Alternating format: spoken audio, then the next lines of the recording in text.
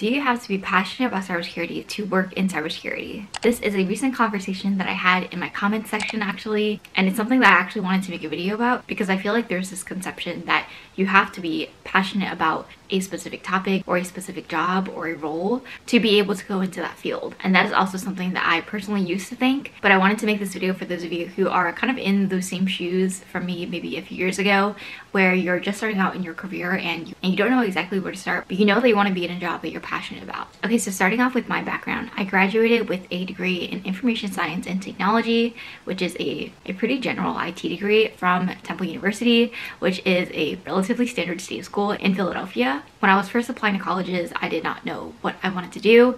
My first major was actually nursing, and then I quickly dropped that and then decided to go into tech instead. I started off in computer science and then moved into IT as a CS dropout, which I've noticed this pattern specifically is very common in many schools with CS and IC programs. But either way, I don't necessarily regret switching from CSIT. And by the time I was a senior looking for full-time jobs out of college, I was primarily looking at software engineering roles and data science roles or data analytics roles. Those were like the main two things I was looking for. And to be completely honest, I decided to go into tech because I wanted a high salary after graduating college. And the main reasons why I wanted to go into software engineering slash data science were because they were very high paying jobs in tech specifically. And I'm not to sit here and say that I was super, super passionate about data science or, or coding in Java specifically. I feel like sometimes the media just portrays people who are in tech or honestly in any field as people who are really passionate about a specific topic or a specific field and that's not always the case. I think that's very much glorified in the media and in movies and TV shows where someone's job is their identity and everything that ties back to the core of that person. And personally, that was never really it for me. Um, I was looking for a job as a means to an end because my parents never had salary jobs growing up. We were always below the poverty line. My main job to go to college was to get a job that paid well. And it didn't necessarily tie back to me being passionate about the job, but I guess I did have to enjoy it to an extent, and that was really the minimum of what I was looking for. So that is the brutally honest truth. And when I was a senior, I was attending the Grace Hopper Conference, which is a conference that I talk about a lot on my channel. And this was where I met my first employer after college. And they were attending the conference and there was basically a career fair and I really connected with one of the people I talked to. And they just happened to be on the cybersecurity side of things. And personally, I had never really given much thought into, into going into cybersecurity. I took a few security courses, kind of.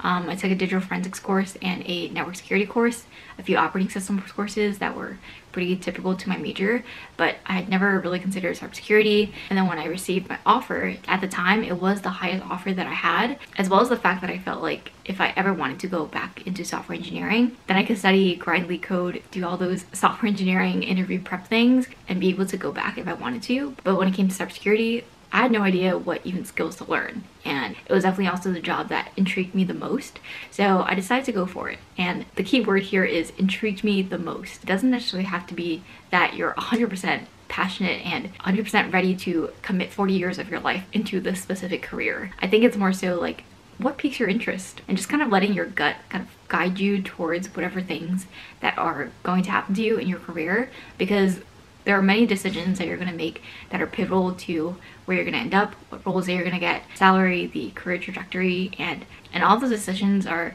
really easy to look back on and understand, you know, the route that you took. But moving forward, it's like that Steve Jobs quote, I guess, that, that I'm not gonna butcher here, but I'll put a picture of it on the screen and and yeah so basically i just followed what my gut was telling me to and and obviously it was a very competitive starting salary i was making six figures out of college in the new york metro area and i can link the video below of how I got that job specifically and going into the details of negotiating and, and the interview process and everything like that. So I think just hearing my experience about how I got my job and how I chose which job or which offer to accept was definitely at the time most based on salary. And that's definitely something I want you guys to keep in mind. Sometimes the way that the media glorifies a dream job and being passionate about your work so you don't have to work another day in your life that isn't necessarily always the case. There are people I know who work in cybersecurity who have been working in cybersecurity for 10, 20 years. Specifically my old mentors, who are basically like the top 1% at their jobs. They're so good at what they do, but they still have off days. They still have days where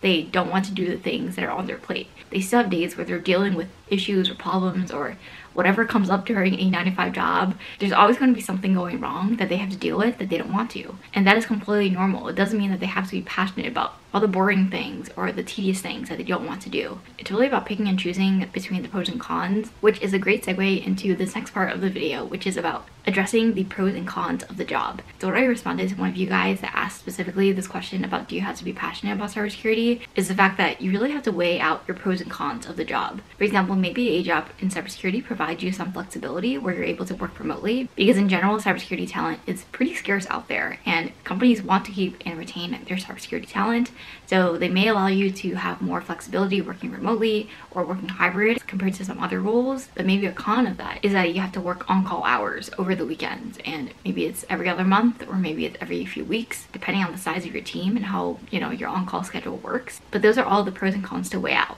Maybe you have a really high starting salary, but maybe you're working 80 hours a week things like this are always going to conflict. There's always going to be a double-edged sword for every pro and con that you're looking at and I think that's always something key to note. For example, some of the work that I do in my day-to-day -day job is very tedious, um, sometimes very repetitive, maybe a little bit boring, but on the flip side, I have an awesome team, I have an awesome manager, my coworkers are amazing, and I just feel like you know, things always end up balancing each other out, but there's always gonna be something that tips the scale a little bit more depending on how you're looking at it and your experience and what you're looking for specifically. And to me, having a good team, a good manager, just good people to work with in general makes my life a whole lot easier. Even if I'm doing some tedious things or some of my tasks are repetitive or sometimes I have a boring day and that's just how it is. I feel like pros and cons are always things that you want to think about, but sometimes, of course, you don't always see the whole picture of it until you start the job itself. Honestly, that's another reason why a lot of Gen Z and millennials I think jump around jobs a lot more because they're looking for something specific. Personally, I am you know, also one of those people. I look for specific things in my jobs that I feel like are a good fit for me.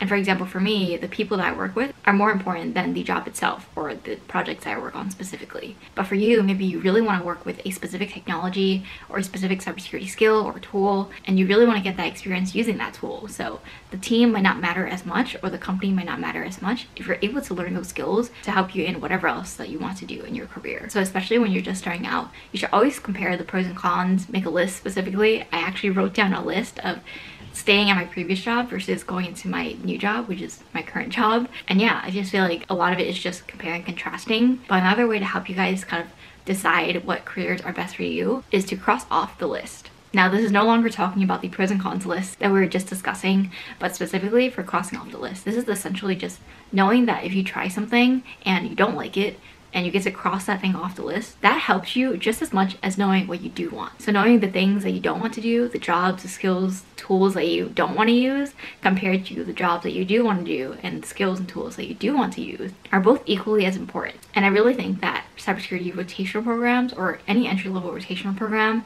is going to be really helpful for this specifically because when I was in my first job, I was in a rotation program and we had two one-year rotations. So after I graduated the program, I was in my third team and I had only been working for about two and a half years in the company. And that in general, I think is just so priceless because, because you get to experience three different teams, three different management styles. Honestly, I had more because I had some management changes and then an interim manager and then things like that. And trust me, things like that are always gonna happen when you're working. But the most important thing is the fact that I learned from that experience and got to experience it in the first place so early in my career. For example, I learned very quickly that governance and IT auditing things were not for me.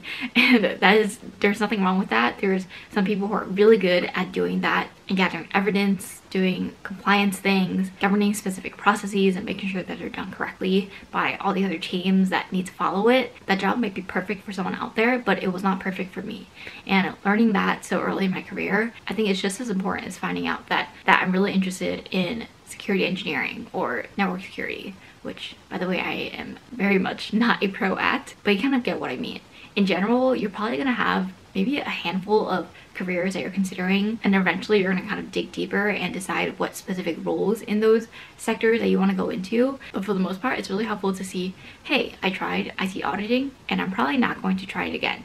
So crossing it off my list. And eventually after you get through your early career and are in kind of like those mid stages of your career or maybe you're a senior then you're going to start understanding what you want to do and what you don't want to do. And personally I think this is a lot more helpful than someone who has stayed at a job for 10 years from their entire early career and now they're already in their mid career and maybe they're still on the fence about the role that they're in but maybe they've already pigeonholed themselves in a specific area in cybersecurity or in tech and because they have that subject matter expertise or even the sunk cost fallacy where they already dedicated 10 years of their career into this and they don't want to dedicate even more time going into another sector in tech or cybersecurity because they're already so pro at this area. I really think sometimes you can trap yourself in a bubble if you don't experiment enough in your early career, which is why I think, again, rotation programs are so helpful, even for those of you who may be, you know, starting in a different career and coming into cybersecurity, and maybe you take a boot camp or a certificate program or, or even a degree program, like a master's program. Those are great ways to pivot into cybersecurity, as well as the fact that a lot of times companies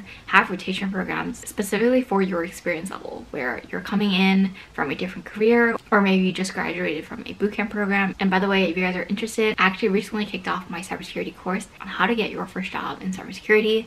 I will link that in the description down below, but it basically has all my resources on how I got my first job, my interview prep guide, my resume, my cover letter, the actual job application process that I follow, everything in between that you need to get hired into your first job in cybersecurity. And if you do check it out, I would love to hear your feedback. Okay, so now that we've strayed far enough from the topic of do you have to be passionate about cybersecurity to work in cybersecurity, I think by now you probably know my answers to this question, and that is no, I don't believe you have to be passionate every single day of your life every cell of your body being passionate about cybersecurity to work in cybersecurity. Personally, I feel like if cybersecurity topics or the things that you're doing in your job pique your interest at least a few days a week, at least a few hours in a day.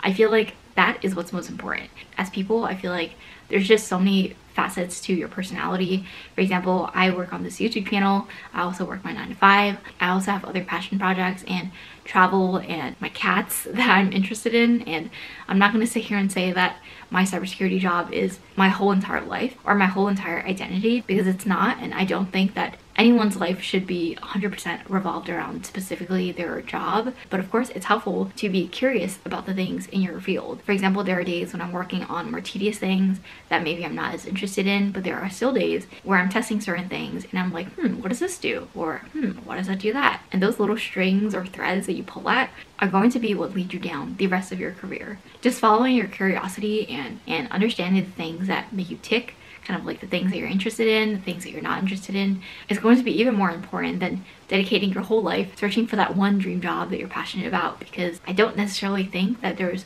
one job that people are passionate about every single day of their life, every waking hour, but maybe there is and I'm just not lucky enough to have that experience. But even making this YouTube channel which I adore to death there's still days when I don't want to edit. There's still days when I don't know what video topic to make. And I feel like those are always going to be questions that come up in your subconscious, in your psyche. But as long as the job is interesting to you to some capacity and also aligns with some of your core values, for example, in cybersecurity, it is pretty easy to make an argument that it is a job that has impact and meaning. Because obviously you're protecting people's data, you're maybe dealing with hackers or breaches or, or incidents on a regular basis, dealing with actual tickets that come in to your security inbox. And all these things have real world impact on someone or multiple people. And personally, one of my core values is to have an impact. And while I do think that many jobs out there do have impact, it's just a lot easier to see that in cybersecurity. And I think that's one of the reasons why the job in general makes it more enjoyable because I'm able to align the goals of my job with the core values of myself. Alright, so I think I've rambled long enough. Hopefully this video did give you an idea of what it means to be passionate about your job and why sometimes that can feel like a myth in itself. Just understand the pros and cons of your job and the roles that you actually want to do and going down and checking off through the list of the roles that you want to do and then eventually reaching a conclusion where you're able to work a job and still see past the maybe the boring days or the hard days and still enjoy the regular day-to-day -day of the role. I really think that in general is going to be the key to your dream job and of course along with some work-life balance because I personally think that is very important and it should be one of your career goals to to be able to enjoy hobbies and your personal life and family and friends and everything else that's part of life that isn't just your nine to five job. I think that in general is just really important for a well-rounded human existence. Alright, so that's it for this video. Let me know if you guys have any questions or would like to continue the conversation. Let me know what you guys think in the comments below. I post videos every Wednesdays and Sundays at 12 p.m. And if you like this video, please give it a thumbs up and subscribe and turn on post notifications. And hopefully I'll see you guys in my next video. Bye!